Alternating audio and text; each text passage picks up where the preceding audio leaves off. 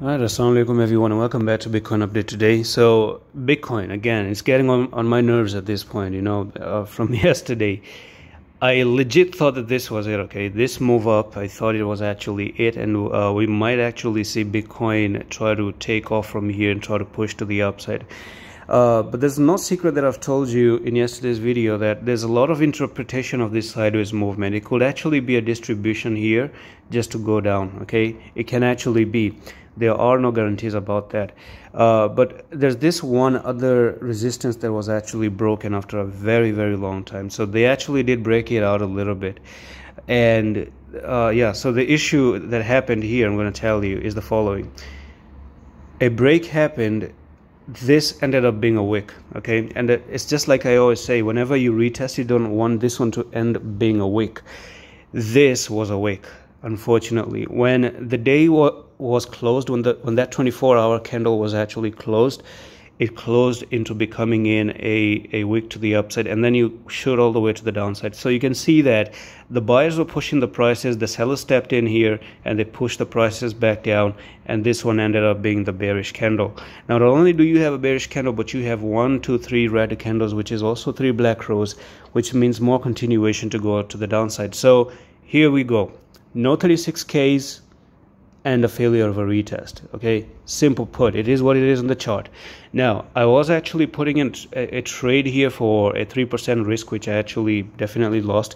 Uh, but the thing is as i told you before i think if bitcoin is coming down to 30k that's not going to be good for me.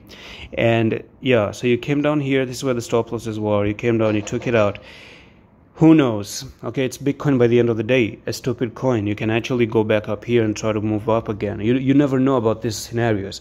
Uh, but the, the thing to me is, it does look to to me on the daily candles that the retest is unfortunately failing, and I do want to see on the four-hour time frame as well if we're making in any bearish divergence as well. So if I do go onto the four-hour time frame here, yeah, so you do have Bitcoin actually that has a regular bearish divergence. So look at the prices moving a little bit higher and you do have the divergence down there. That's the reason why the retest is basically failing. Sometimes I don't remember to look at the RSI. I wish I saw it yesterday and I could have told you that, you know what, uh, we have a bearish divergence like this. So basically, whenever you make, uh, you know, breakouts here, they can actually end up being a fake out and you can see Bitcoin try to push down once again.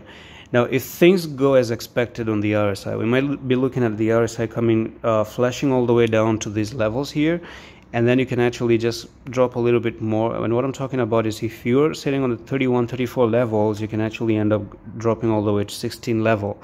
So you do have like a 50% drop on the rsi and that can actually also mean that bitcoin comes down take these stop losses and come down and retest this level here which is almost $27000 which you broke out of yes there could be a dirty retest as well. So if you look if i told you something here so you do have this little bit of place that you broke out of. So one touch there second touch break to the upside and maybe come down and retest this for the dirty retest because you never retested uh, after breaking out. So yeah 27000k can actually be an on top level.